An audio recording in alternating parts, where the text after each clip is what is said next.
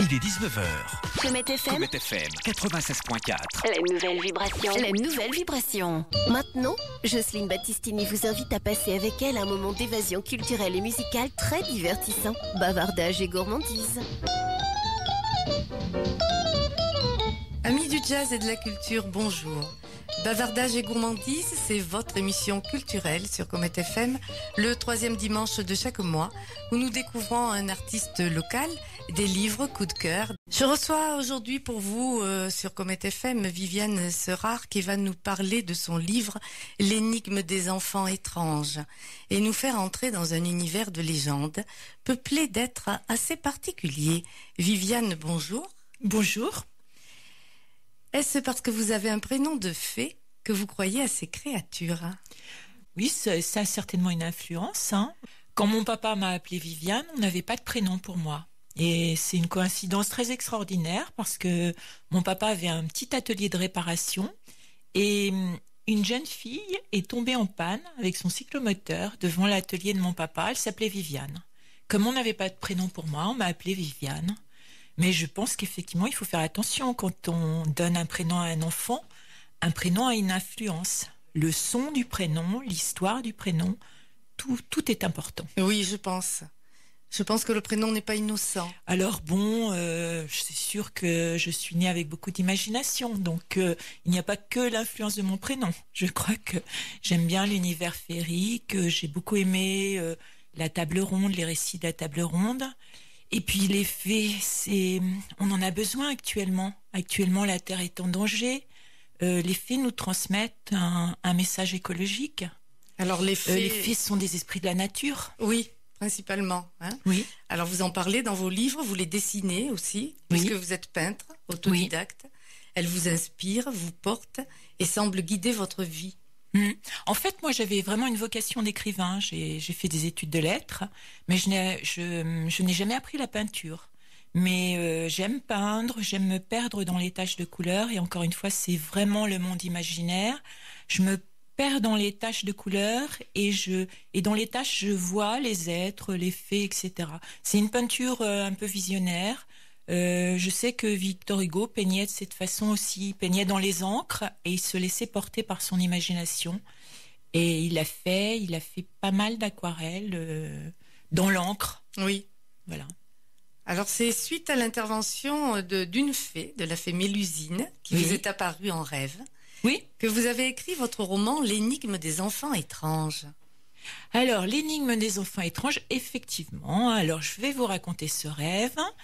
Euh, en fait, bon, je connaissais bien l'histoire de la fée Mélusine et je ne sais pas pourquoi, une nuit, j'ai entendu des plaintes, des lamentations dans mon rêve et la fée Mélusine s'est plaint à moi d'être complètement oubliée et elle a eu cette phrase c'est à cause de cela que les enfants sont perdus dans la forêt. Bon, ce rêve m'a réveillée, c'était un rêve vraiment étrange. Et euh, j'ai pensé aux enfants de Mélusine. Alors, les enfants de Mélusine, effectivement, ils sont complètement oubliés. Et cet aspect-là de la légende de Mélusine est oublié. On n'en a jamais parlé. Je crois que j'en ai entendu parler dans un essai de Jean Marcal qui citait les dix enfants de Mélusine. Alors, ces dix enfants de Mélusine sont des enfants très étranges. Alors en quoi, en quoi le sont-ils justement? Alors, ils sont étranges parce que ils sont, ils ont, ils ont des physiques étranges. L'un a des oreilles de lapin, un œil rouge et un œil vert. L'autre a une grande dent. Il s'appelle Gaufroy. Euh, le premier s'appelle Urion, celui qui a des oreilles de lapin.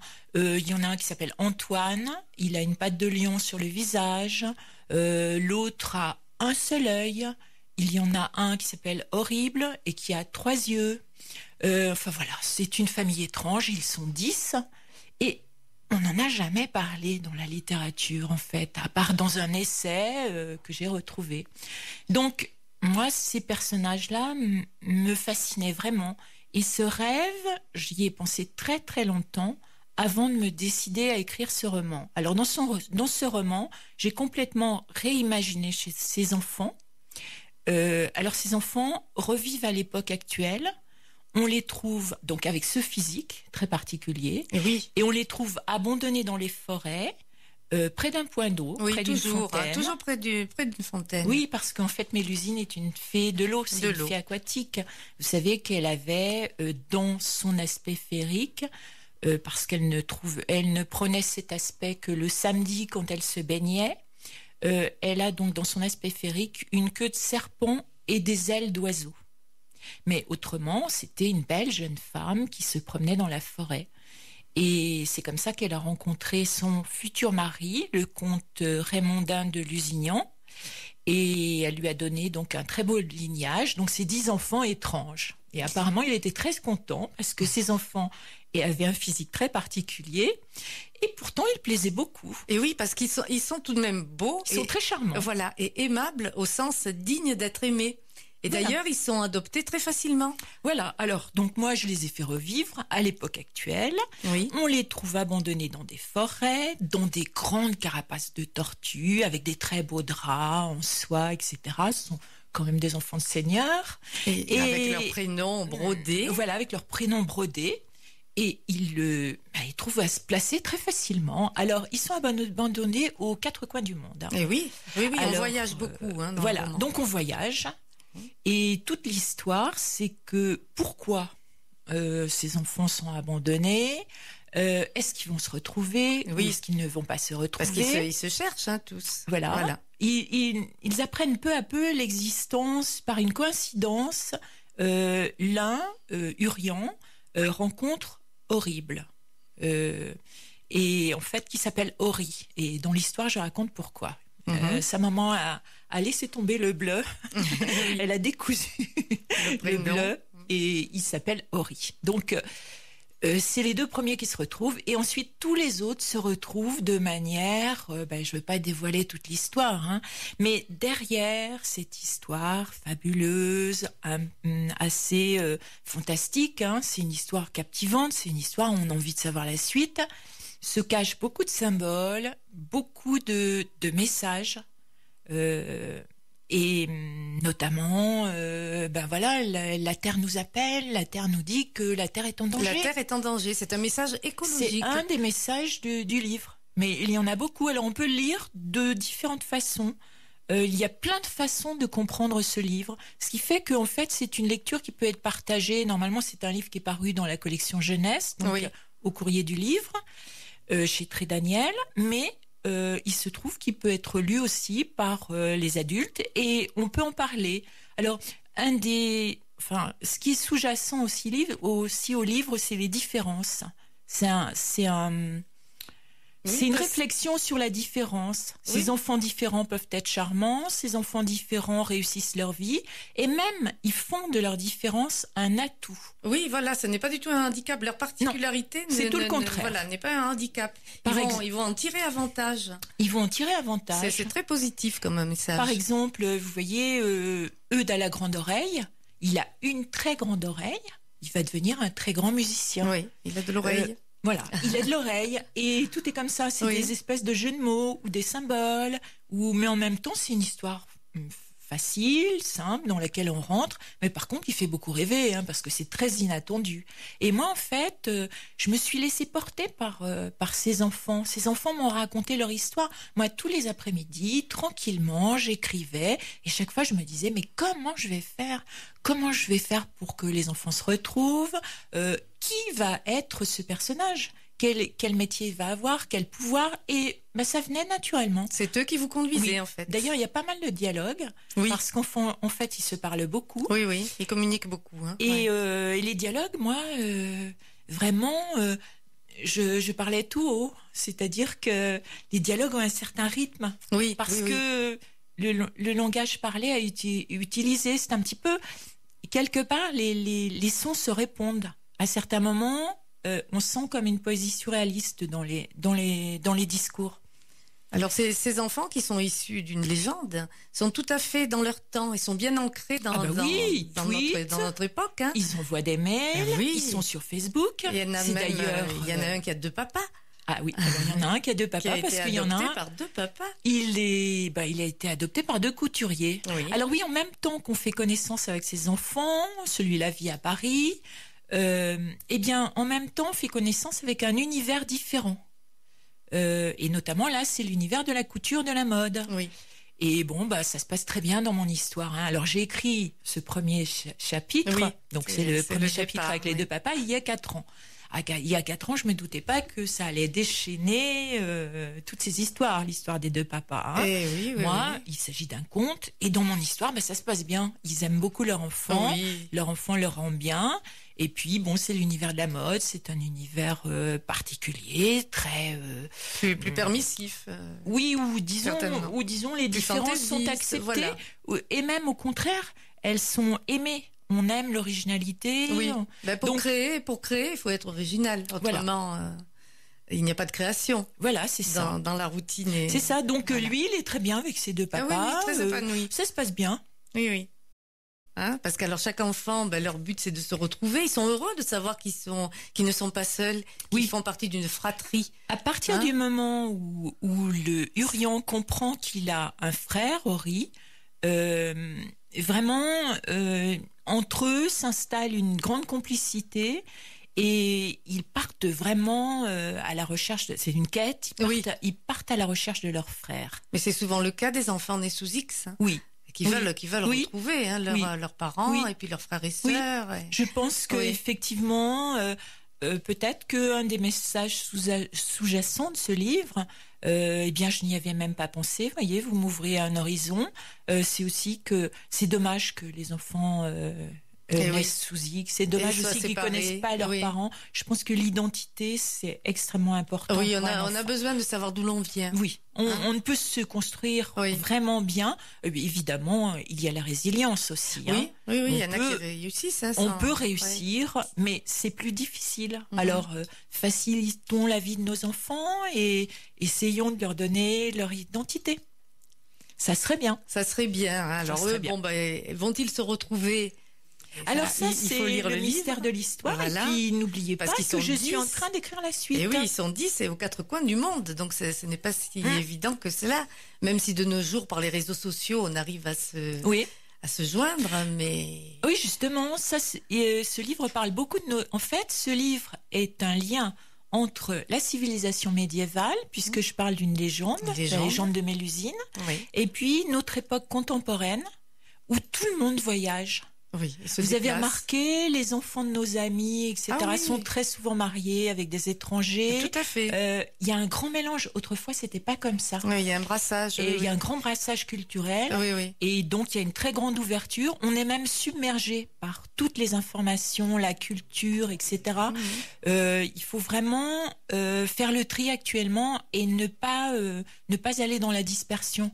Je pense qu'on peut être dispersé actuellement. Tellement nous arrive d'informations. Alors, c'est une grande chance Oui, dont oui, il faut oui. profiter.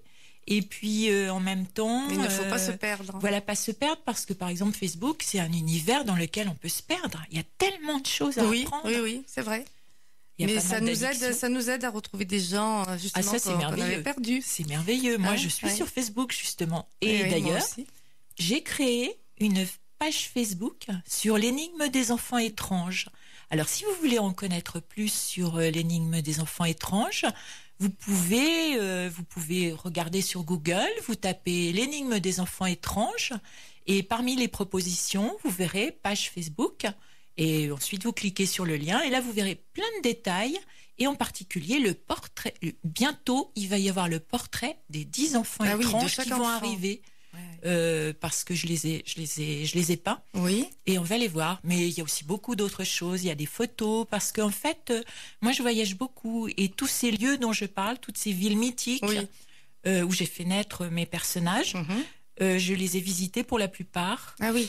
Et euh, donc, euh, bah, j'ai trouvé leur maison. J'ai choisi une maison à Prague. J'ai choisi la maison Oui, de oui, est- à la patte de lion. Qui est très bien décrite, hein, d'ailleurs. Oui, elle est bien décrite. Et sur la page Facebook, j'ai mis la photo de la maison. Oui, donc il faut aller la voir, Et pourquoi pas la visualiser. hein. Mais est-ce que vous, vous pensez que toutes ces légendes euh, ont encore leur place justement aujourd'hui? Alors, elles ont encore leur place et même ça a énormément d'importance. Les contes de fées, vous avez beaucoup de, de, psy, de, de psychologues, de psychiatres. Euh, par exemple, euh, Marie-Louise Von de France, qui est une élève de Jung, a étudié les contes de fées, Bruno Bethlehem. euh, à étudier les contes de fées et euh, il y a une morale dans les contes de fées, une morale pas au sens étroit du terme, au sens strict du terme. Il y a une vraie, euh, une vraie leçon de vie, une leçon initiatique en quelque sorte à tirer des, contes de fées. Les contes de fées nous racontent tout sous une forme symbolique. Mais est-ce qu'on est prêt à... hum, Bon, c'est vous, vous vivez dans cet univers de, de fées et de légendes. Oh, vous savez, je suis aussi très bien dans la réalité. hein. Oui. Je suis bien ancrée dans la réalité. Comment reconnaître les signes de nos jours? Voilà, parce qu'on est submergé, euh, on vit dans un dans un univers de, de cacophonie entre la publicité, la télévision, les. euh, Il bon. faut pas voir des Où signes sont partout, les signes? quand même. hein. Il faut pas voir des signes partout. Comment les fées s'y prennent-elles pour nous pour nous attirer? Eh ben, Est-ce qu'il je- faut aller dans la nature? Est-ce qu'il faut oui, s'isoler? bien sûr. Il faut se ressourcer dans la nature. Il faut beaucoup aller se promener dans les forêts, près de l'eau, des sources, etc. On se sent très bien. Les cascades, Oui. tous les éléments naturels nous ressourcent. C'est Oui. c'est merveilleux la nature. D'ailleurs, euh, c'est pas un secret pour personne. hein. Si on va pas très bien, on va faire une grande promenade dans la nature et on se sent beaucoup mieux. Alors bon, euh, les gens qui ont de l'imagination comme moi, qui adorent les légendes, vont vous dire que là, vous avez été en contact avec les esprits des arbres, les Oui. esprits des fées. Et puis d'autres vous diront, eh ben, c'est le calme de la forêt, c'est l'air pur que vous avez respiré, selon votre état d'esprit, selon selon votre psychologie, vous, vous pouvez voir les choses d'une manière différente. Et moi, je trouve que tout est intéressant. Tous les points de vue sont Pour intéressants. vous, la nature est habitée. Pour moi, la nature est habitée. J'ai un peu un point de vue euh, animiste comme les, les anciens. Vous savez, en fait, nos fées, elles viennent des déesses anciennes. Elles viennent euh, encore plus loin de la grande mère néolithique, la grande déesse néolithique. En fait, euh, les fées viennent euh, des, des, des parcs. On pense qu'elles viennent des Tria Matrona, donc des trois mères, euh, qui étaient euh, en fait liées au culte de l'abondance et de la fertilité. Euh, vous savez, de toute façon, la fée, c'est celle qui euh, qui vous donne, qui vous accorde bonne des vœux. Euh, en général, elle est bonne. Mais Oui. enfin, elle peut se retourner, hein, parce que si on n'est pas agréable, Elle se venge. euh, elle peut, oui. Elle Parce est- que généralement, et bon, vous elle a- savez, les fées, c'est Oui. pas des déesses, justement. Elles descendent des déesses de la nature. Mais vous savez, les déesses de la nature, c'était pas des déesses forcément bonnes. Elles avaient un, elles étaient aussi ambiguës. oui, parce qu'elles sont libres. Hein, Voilà, elles sont libres. Le monde des fées, c'est le monde de la fantaisie. Mhm. C'est pas le monde de la rigueur morale. D'accord. Euh, si elles sont fâchées, euh, Oui, elles sont, elles sont méchantes. oui, mais en général, elles sont très très gentilles. hein. Elles, ont, elles ont une baguette magique. Voilà, elles possèdent une une, baguette magi- magique. Oui, une baguette. Alors il y a du feu au bout de la baguette. Alors vous savez que au bout d'une baguette, il y a une étoile. Oui. Alors en fait, symboliquement, tout ça, vous savez, les fées, en fait, elles ne sont pas du côté de la lumière et du côté du soleil. Les dieux, ce sont des dieux, dieux solaires en général, ce sont les dieux du ciel. Mais les fées, dans, dans la tradition, les fées, ce sont des déesses de la terre, et même en dessous de la terre, de l'eau, de tout ce qui se passe en dessous. Elles sont nocturnes. Donc la lumière qu'elles envoient, c'est la lumière des étoiles. Elles sont liées à la lune. Elles sortent la nuit alors. Euh, pas forcément, mais elles peuvent sortir aussi le jour. Mais normalement, euh, dans, vous voyez, dans les anciennes, euh, les anciennes légendes irlandaises, les fées, c'est le peuple des tertres. On a, ce, peuple ancien s'appelait les Tuatha des Danons, un nom très difficile, et ils vivaient dans les tertres, c'est-à-dire dans les souterrains, Dans les souterrains. Oui. Mhm. dans les. euh, euh, C'est un peuple souterrain. oui, et vous voyez dans les contes de la table ronde, quand on passe de l'autre côté, on passe toujours un guet. On passe, on passe dans l'autre monde, on passe dans le monde de la forêt, On traverse. on passe dans un monde qui est pas un, c'est un, un monde nocturne, c'est un monde difficile à atteindre, c'est pas, euh, c'est pas la grande lumière. Et les petits lutins, est-ce qu'ils Alors les petits lutins, pareil, Quels sont vous savez que les petits lutins travaillent dans les mines Eh oui, normalement. oui, Alors vrai. bien sûr, ils travaillent, ils extraient les diamants. Oui. les- Vous voyez toujours la lumière dans les ténèbres. Ouais. Ah oui, c'est vrai. Tout, de toute façon, tout est lié. hein. Quand vous étudiez euh, les fées, le monde des fées, etc., avec un œil, euh, un œil lucide, un œil large, euh, vous, vous trouvez tout, tout est relié. Vous vous dites ah oui les lutins, bah oui les lutins dans Blanche Neige, ils partaient au travail, Oui. et oh, on va au boulot, etc. Vous connaissez la chanson, oui, c'était oui, charmant. oui. C'est vrai qu'ils travaillaient dans les mines. Ils travaillaient dans les mines, ils extrayaient les, les, drames, Mhm, les, diamants, les pierres précieuses, etc. Mhm. Oui, toujours ce, ce monde souterrain Voilà. et, Et- actif. C'est un monde actif. Voilà, c'est un monde actif, c'est un monde, euh, oui, travail. Hein, ils savent faire. oui, ils oui. savent faire, ils travaillent. Alors, Mhm. euh, les fées, on sait aussi qu'elles sont liées à la nature. C'est, on, on parle des élémentaux. On, on- on dit que les fées euh, font pousser les fleurs. C'est elles qui, qui vont chercher la vie La à l'intérieur de la terre pour euh, la faire naître euh, dans la lumière. Donc c'est tout à fait normal qu'elle qu'elle s'alarme et qu'elle et Et qu'elle dise attention, attention. Voilà. euh, Ce sont des messagères, des mal. messagères de, de l'écologie. euh, enfin, voilà, Oui. on peut, on peut dire On peut les voir, euh, oui, comme on peut ça. les voir comme cela. Donc vous voyez qu'elles sont très utiles. Il faut pas les oublier. Surtout pas. Et vous, et vous, vous avez écrit un beau livre sur les sur les faits, à la recherche des faits. Oui, à la recherche des faits, qui est un livre un peu introuvable, mais enfin on peut le trouver si on cherche bien, Et, parce que euh, malheureusement l'éditeur a disparu. ah Alors bon peut-être qu'il Ah, sera, dommage, euh, il sera Parce réédité. est, hein, il est fort jamais, bien hein. illustré par vos peintures. Oui. Et il y a de belles explications très très poétiques Mm. hein, sur les faits justement. Et Ouais. Enfin là, euh, l'énigme des enfants étranges. il y a les enfants de Mélusine. Oui, alors il y a la photo des enfants de Oui, Mélusine, oui. enfin la photo, euh, le portrait que j'ai Mhm. dessiné et que je vais mettre sur la page Facebook. Voilà, on pourra les retrouver. Donc ça, ça, c'était à la recherche des faits. Et il ne sera plus réédité. euh, Alors je ne sais pas, hein. on ne sait jamais. Peut-être que mon éditeur actuel, donc Oui. euh, le, le Très Daniel, je ne sais pas, peut-être qu'il aura envie de le rééditer. Ça serait bien. Ça serait bien parce que franchement l'éditeur a disparu très très peu de temps après l'avoir édité. Oui. Donc en fait il n'a pas eu, il n'a pas trouvé de commercialisation quoi. Moi j'en ai quelques uns, mais Oui. voilà. Donc euh, ça serait, ça, ça serait, c'est dommage quoi. C'est dommage. Et l'énigme des enfants étranges, on, on le trouve Euh, euh, partout, hein, partout, on peut le commander sur Amazon et bien sûr dans toutes les bonnes librairies. Librairie, Et oui. puis de toute façon, n'importe quelle librairie peut le commander. C'est un, Oui. le courrier du livre, c'est très connu. Très Daniel, c'est un groupe euh, parisien très connu.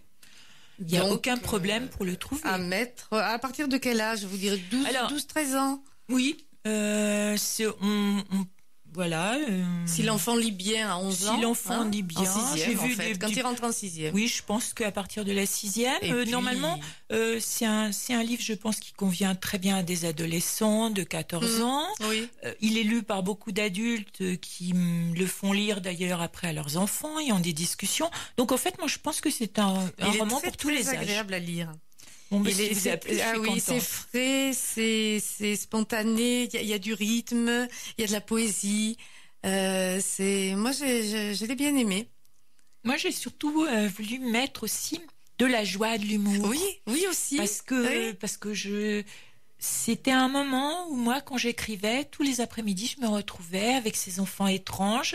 Et vous avez remarqué qu'il y a, il y a pas mal de, de moments où ils, où ils font des, des grandes fêtes, ils mangent beaucoup dans, oui, dans le bah, ils sont ils sont heureux. Hein, oui. Et euh, ben, en fait, c'était moi. Hein. C'est-à-dire que euh, voilà, les enfants étranges étaient un peu fatigués. Ils allaient se prendre une bonne tasse de thé avec Ah du oui. chocolat. C'était moi en fait hein, qui, euh, bon, voilà, maintenant j'ai bien écrit. Je vais. Euh, oui, les, les bonnes choses de la vie. Oui, les bonnes choses de la hein. vie Ah oui, aussi. oui, mais ils prennent la vie du bon côté. Hein.